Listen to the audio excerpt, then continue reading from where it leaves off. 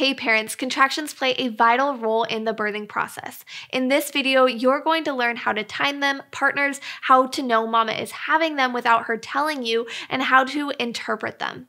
I'm Bridget and I'm a childbirth educator and birth doula. And if you're new to this channel and you haven't subscribed, make sure you do and then hit the little bell so that you stay in the know when a new and empowering educational video comes your way. So, first of all, what is a surge? A surge happens when the muscles of the uterus, which your baby is in, tightens. And the purpose of that tightening in early labor is to draw the uterus upward to help open and stretch the cervix to allow your baby to pass through it. And as labor progresses, all the muscle fibers that have gathered up at the top of your uterus now push baby down through the birth canal with each surge.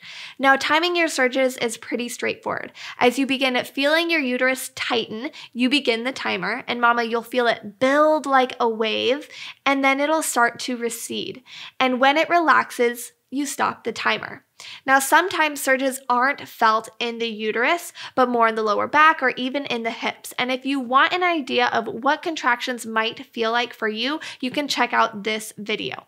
Many women will experience cramping in their lower abdomen as labor begins, but cramping is usually a consistent dull ache, in which case there's nothing to time. No matter where you feel the sensation, if it's a rhythmic sensation that seems to be coming on and building and then subsiding and it's gradually intensifying over time, it's likely a surge. Contractions come on and then go away with distinct time between them.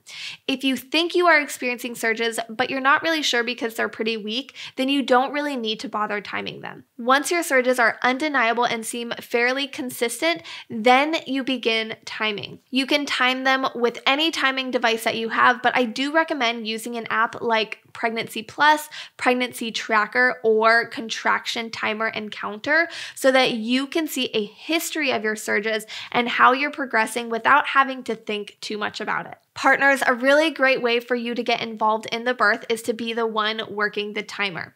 Only time about three or four contractions in a row to get an idea of where mama is at, and then wait at least an hour or two or until there's a noticeable change in the sensations that mama is experiencing or the frequency of the surges before timing again.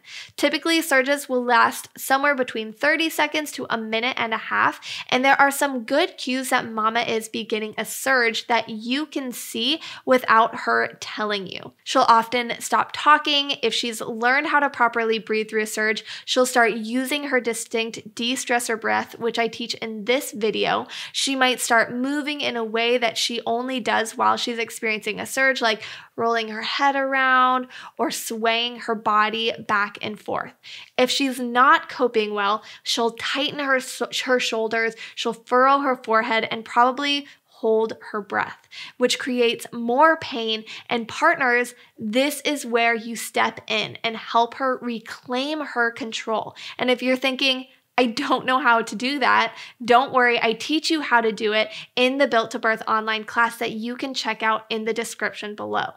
Then, as the surge comes to an end, mama will take a big breath and then sigh, and then return to being more relaxed or acting more like her normal self. And this is when you know the surge is over and you stop the timer.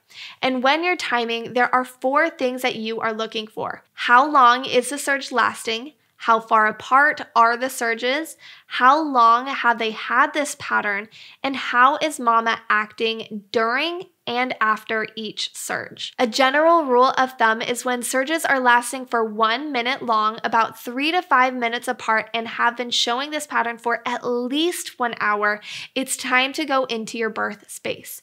For first time parents, you generally can wait closer to that three minute mark, but as second or third time mamas, you usually want to go in closer to that five minute mark because labors are often quicker. However, mama's behavior is crucial when interpreting contractions because if they're close together but mama is totally fine, then she's probably still early on in the process. When she can't talk through the surges and after them, doesn't return to her normal self, is more quiet, reserved, seeming like she's mentally in another place, plus her surges are one minute long, about three to five minutes apart over the course of at least one hour, then you have great indications that things are progressing into active labor and you should start heading into your birthplace. Once you've decided to go into your birthplace and as labor is continuing to progress, the surges will become more frequent and it no longer becomes so necessary to time them because labor has already been well established and your time partners